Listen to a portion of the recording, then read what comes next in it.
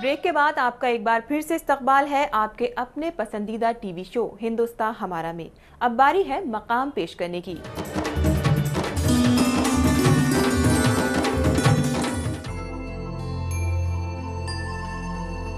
Doctor Syed ई हसनैन एक ऐसी अजीम शख्सियत हैं, जिनका नाम जुबा पर आते ही एक ऐसे शख्स का अक्स उभरता है, जिन्होंने मुल्क का नाम साइंस की फ़ील्ड में रोशन किया है।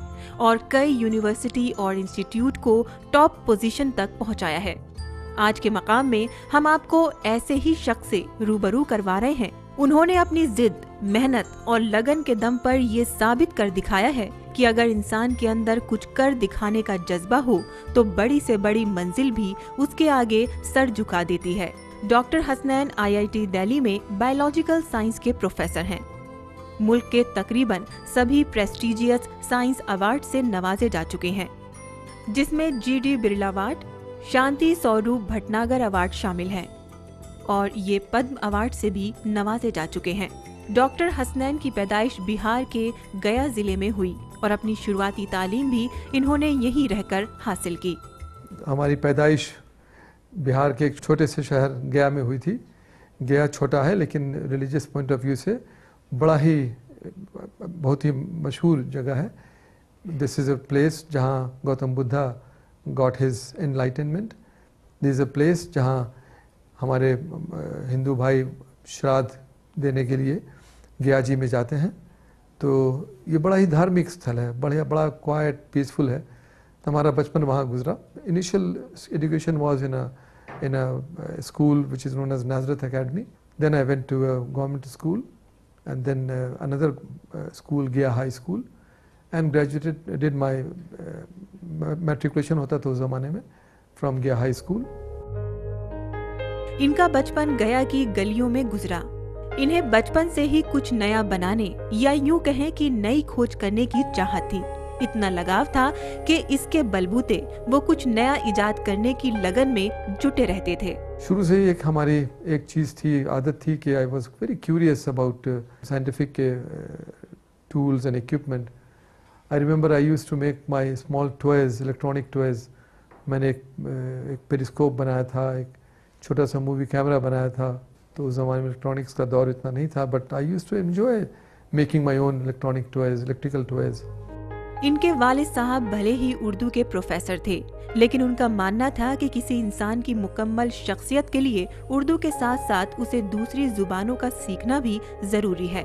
हमारे वालिद साहब उर्दू के प्रोफेसर थे, और उन्होंने एक चीज़ की हमें हमें काफ़ी इसरार किया था। He insisted on this that I must learn my own languages that is Urdu and also Arabic and Persian at the same time I must also learn Sanskrit तो एक पंडित रख करके हमें संस्कृत की की शिक्षा दी गई थी और संस्कृत मैंने पढ़ी पर्शियन के साथ और हमारे वालिद साहब का ये कहना था कि you know India is our country we belong to India and we must listen to the value and, and cultures and ethos that this great nation has to provide. Professor होने के बावजूद भी इनके वालिद कभी इनसे सख्ती से पेश नहीं आए। एक बात का मैं कहूँगा कि हमारे वालिद साहब को हम पर काफ़ी विश्वास था। वो कहते, समझते थे कि ये he knows what he is doing and he knows what he is best in और इसी वजह से उन्होंने कभी मुझे इस के लिए नहीं कहा कि तुमको ये बनना है या वो बनना है। मुझे बिल्कुल खुली आज़ादी थी कि तुम, जिसमें तुम समझते हो कि तुम्हारा रुझान है, जिसमें तुम्हारी ज़्यादा इंटरेस्ट है, दिलचस्पी है उसी प्रोफेशन में जाओ। तहजीब इन्हें विरासत में मिली थी। मज़हब इनके लिए जीने का एक सलीका था। पाँचों वक्त की नमाज़ अदा करने के लिए वो घर के पास की ही एक मस्जिद में जाते थे। हमारा बड़ा धार्मिक माहौल था। धार्मिक भी था बट बट सेकुलर माहौल भी था। तो मैं नमाज़ की हमारी जो पाबंदी की हुई है हमारे फादर के साथ नमाज़ पढ़ते थे। हमारे मोहल्ले में एक नई मस्जिद बनी थी। तो वहाँ मैं नमाज़ पढ़ने जाता था। बीएससी की तालीम इन्होंने गया से ही पूरी की, लेकिन इनकी मंजिल कुछ और ही थी। अपनी चाहत को मैसर जहाँ देने के लिए वो दिल्ली आ गए और जेएनयू से लाइफ साइंस सब्जेक्ट से एमएससी की डिग्री हासिल करने के बाद पीएचडी की तैयारियों में जुट गए। मगध यूनिवर्सिटी गया कॉलेज से बीएससी ऑनर्स किया। उसके बाद मैंने ये ठान ली कि मुझे बिहार में नहीं पढ़ना है। उसके बाद मैंने JNU से लाइफ साइंसेस किया। तो जेएनयू में मैंने दो साल में मास्टर्स किया लाइफ साइंसेज में। उसके बाद मैंने पीएचडी की। मेरी पीएचडी तीन साल में ही हो गई। I think I was one of the youngest तालीम हासिल करने और कुछ नया सीखने की जिद इनके अंदर बचपन से ही थी। चुनाचे जे के दिनों में इन्हें अपने प्रोफेसर की सोहबत सबसे अच्छी लगती थी। क्योंकि इनका मानना था कि अपने गुरु के साथ रहकर आप पढ़ाई से अलहदा भी कुछ सीख सकते हैं। जो कुछ भी हम हैं यहाँ पर इसका बहुत बड़ा रोल जेएनयू का रहा है। बहुत बड़ा रोल। हमारे टीचर्स का बड़ा, बहुत रोल रहा है। चाहे वो स्कूल के टीचर्स हों, एक दो टीचर्स का नाम मैं ख़ास कर लूँगा गया प्रसाद, ये हमें, ये फिज़िक्स और मैथमेटिक्स पढ़ाते थे। बेचारे का एक्सीडेंट हो गया। He is no more very young he died और जेएनयू में भी कई प्रोफेसर से बहुत कुछ सीखा। हालाँकि वो चंद घंटों का ही की सोहबत हुआ करती थी। पीएचडी करने के दौरान इन्होंने जेएनयू स्टूडेंट यूनियन का इंतखब लड़ा। मैंने एक साल वहाँ जम के स्टूडेंट यूनियन की लीडरशिप की। मैंने इलेक्शन लड़ा। उस ज़माने में सीताराम येचूरी हमारे प्रेसिडेंट थे। मैं अपने स्कूल का नुमाइंदा था। मैं सोचता हूँ कि जो कुछ हमें आर्टिकुलेशन की स्किल्स है, ये जेएनयू से आई है। ये ये जो लीडरशिप की जो मुझे जो ट्रेनिंग मिली वहाँ पर, उससे आई है। हसनैन साहब को सियासत रास नहीं आई। महज एक साल के अंदर ही इन्होंने सियासत से तौबा कर ली। पीएचडी की डिग्री हासिल करते ही इन्हें यूएस जाने का मौका मिला। लेकिन इनके वालिद चाहते थे कि ये मुल्क में ही रहकर यहाँ के रहवासियों की खिदमत करें। तो अमेरिका जाने का ख्याल इन्होंने अपने दिल से निकाल दिया और इन्होंने दिल्ली यूनिवर्सिटी ज्वाइन कर ली।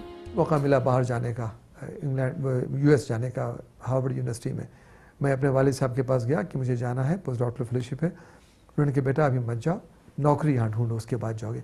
पता नहीं क्या उनको एक तरह का ये था कि शायद ये लड़का बाहर चला जाएगा तो शायद बाहर से लौट कर नहीं आएगा। उसकी वजह ये भी कि उनका एक अपना भतीजा मतलब हमारे चचेरे भाई, दो चचेरे भाई बाहर गए पढ़ने के लिए, वापस नहीं आए इंडिया, वहीं के होकर रह गए। तो शायद ये दिल में उनके एक एक खटका सा लगा हुआ था कि मेरा बेटा भी बाहर जाएगा तो लौट कर नहीं आएगा। तो मैंने उनकी बात सुन ली, मैंने कहा, ठीक है, मैं बाहर नहीं जाऊँगा, मैं नौकरी ढूंढूँगा। और आई, मुझे दिल्ली यूनिवर्सिटी में, post graduate department of botany में शायद एक साल के अंदर में लेक्चरर की नौकरी मिल गई। उससे उनको बड़ा फ़ख्र हुआ कि, कि मेरा बेटा दिल्ली यूनिवर्सिटी में पढ़ा रहा। जनाब हसनैन साहब की ज़िंदगी की दास्ता जारी रहेगी। फ़िलहाल वक्त है एक छोटे से ब्रेक का। इसी बीच उन्हें रिसर्च वर्क के लिए कनाडा जाने का ऑफ़र आया। इस बार वो मना नहीं कर पाए।